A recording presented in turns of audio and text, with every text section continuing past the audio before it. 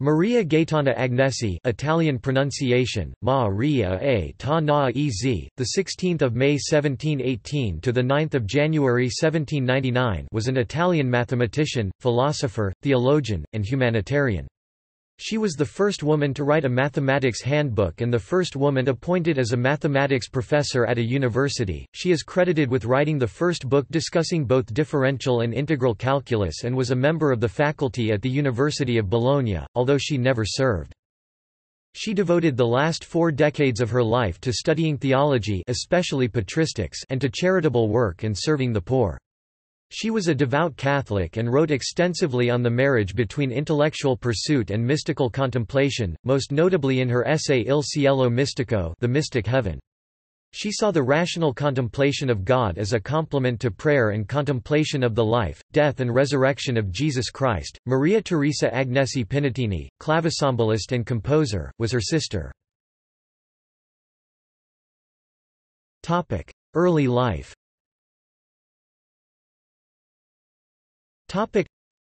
Maria Gaetana Agnesi was born in Milan, to a wealthy and literate family. Her father Pietro Agnesi, a wealthy silk merchant, wanted to elevate his family into the Milanese nobility. In order to achieve his goal, he had married Anna Fortunata Brivio of the Brivius de Broccoli family in 1717. Her mother's death provided her the excuse to retire from public life. She took over management of the household. She was one of 21 children. Maria was recognized early on as a child prodigy, she could speak both Italian and French at five years of age. By her 11th birthday, she had also learned Greek, Hebrew, Spanish, German, and Latin, and was referred to as the seven-tongued orator. Agnesi suffered a mysterious illness at the age of 12 that was attributed to her excessive studying and was prescribed vigorous dancing and horseback riding. This treatment did not work, she began to experience extreme convulsions, after which she was encouraged to pursue moderation. By age 14, she was studying ballistics and geometry. When she was 15, her father began to regularly gather in his house a circle of the most learned men in Bologna, before whom she read and maintained a series of theses on the most abstruse philosophical questions. Records of these meetings are given in Charles de Brosse's Lettres sur L. Italian in the Propositiones Philosophicae, which her father had published in 1738 as an account of her final performance, where she defended 190 philosophical theses. Her father remarried twice after Maria's mother died, and Maria Agnesi ended up the eldest of 21 children, including her half-siblings. Her father agreed with her that if she were to continue her research into mathematics, then she would be permitted to do all the charity work she wanted in addition to her performances and lessons, her responsibility was to teach her siblings. This task kept her from her own goal of entering a convent, as she had become strongly religious. Although her father refused to grant this wish, he agreed to let her lie from that time on in an almost conventual semi-retirement, avoiding all interactions with society and devoting herself entirely to the study of mathematics. After having read in 1739 the Traité analytique des sections coniques of the Marquis Guillaume de L. Hospital, she was fully introduced into the field in 1740 by Ramiro Rampinelli, an Olivetan monk who was one of the most notable Italian mathematicians of that time. During that time, Maria studied with him both differential and integral calculus. Her family was recognized as one of the wealthiest in Milan. Topic: Contributions to mathematics Instituzioni analitiche According to Britannica, she is considered to be the first woman in the Western world to have achieved a reputation in mathematics.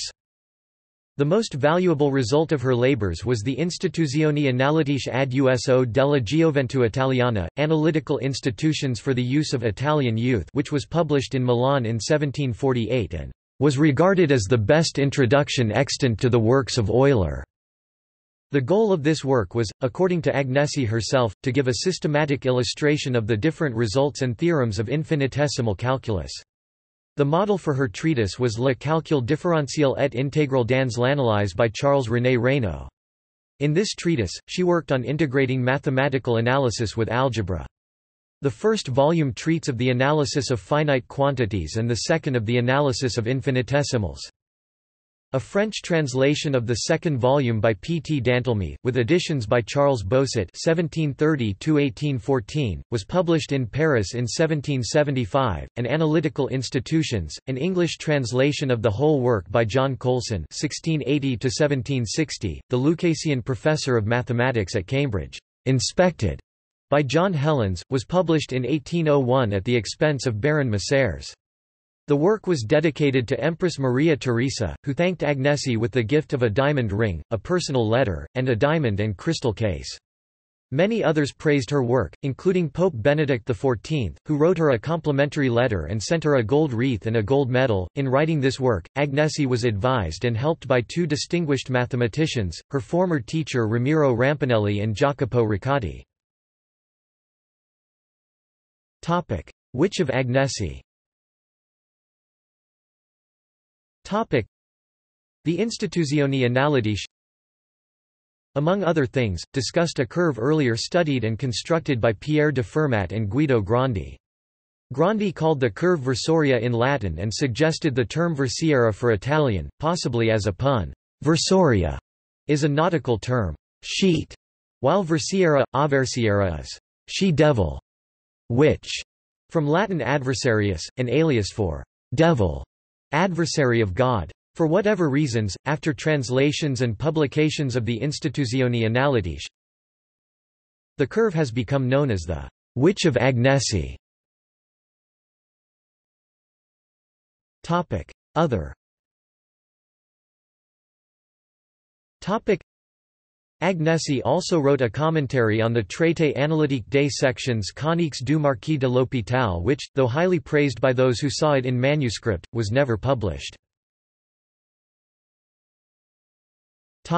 Later life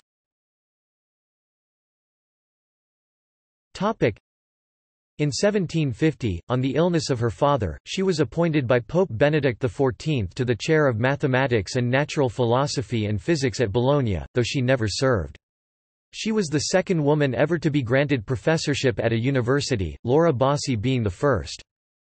In 1751, she became ill again and was told not to study by her doctors. After the death of her father in 1752 she carried out a long-cherished purpose by giving herself to the study of theology, and especially of the Fathers and devoted herself to the poor, homeless, and sick, giving away the gifts she had received and begging for money to continue her work with the poor. In 1783, she founded and became the director of the Opera Pia Trivulzio, a home for Milan's elderly, where she lived as the nuns of the institution did. On 9 January 1799, Maria Agnesi died poor and was buried in a mass grave for the poor with 15 other bodies.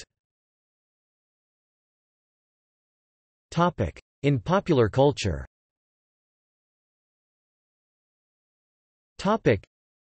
in 1996, an asteroid, 16765 Agnesi, was named after Agnesi. There is a crater on Venus named after her, too. There is also a mathematical curve named the Witch of Agnesi. In 2017, the family Coppola released a brandy named after Agnesi. See also Topic Laura Bassi Elena Cornaro Piscopia Ramiro Rampinelli Cristina Roccati References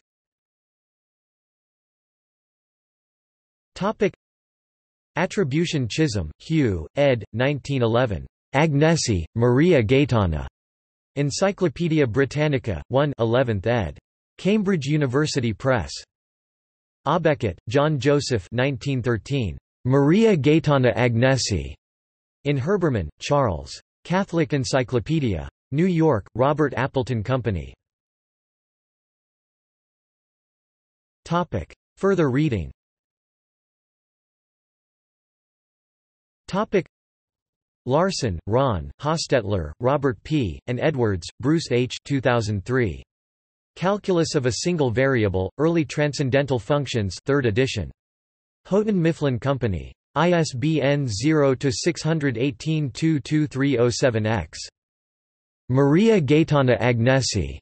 Biographies of Women Mathematicians, Agnes Scott College Mathematics History Archive entry for Maria Gaetana Agnesi at the University of Andrews, Scotland European Mathematical Society, newsletter no 31 March 1999, South 18 D. J. Struik, editor, A Source Book in Mathematics, 1200–1800 Princeton University Press, Princeton, New Jersey, 1986, pp. 178–180.